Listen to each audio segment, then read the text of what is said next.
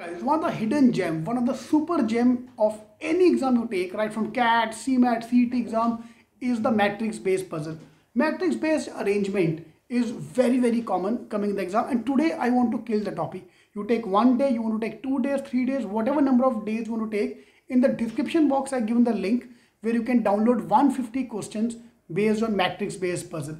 The matrix-based puzzle looks like a typical puzzle this and today we have the shortcut workshop for this in which we're going to cover the G strategy for this topic. So in case you want to attend, you can call the numbers given in the description box or at the site. So now I want you to try solving these puzzles. Yeah. So these are set here. This question have come in the CAT exam. Fortunately or unfortunately, this set will come in almost every exam. Right from CAT, CMAT, CET, all the exams. CAT, you have got 10 minutes time to solve this puzzle. You can pause and you can try to solve this puzzle but in the Master CET exam, NMAT exam, SNAP exam, we have got only 5 minutes to 4 minutes to solve this puzzle. And that's where the problem starts. So if you think CAT is not your cup of tea, I want to focus on non-CAT exam, guys, I want you to focus on all the exams. And this is one set, arrangement based set, which is common across the board for any exam you take.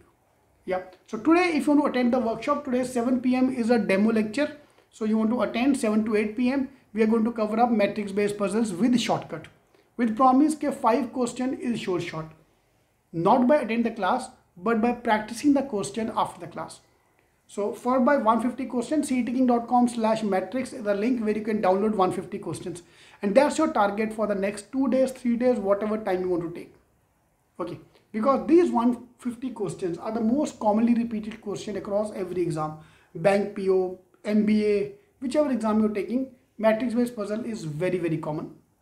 Okay so the puzzle is here and i'm going to give the solution as well at the end of this video. So try to solve this uh, question. Pause the video. If you can solve this question yourself great. Otherwise you have to attend the workshop today. In case you want to attend numbers just call the numbers. My team will give you the zoom session link where you can join us for the 7 p.m workshop. 7 to 8 p.m is the basic level where i want to introduce you to my shortcut and then 8 pm onward we'll have a practice questions. So in case you want to attend just call the numbers.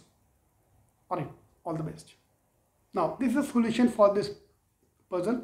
If you've tried this is the final how the matrix will look like.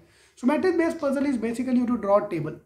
Fine people can solve using fill in the blanks. There are various ways to solve the puzzle but which the one i use is using g strategy.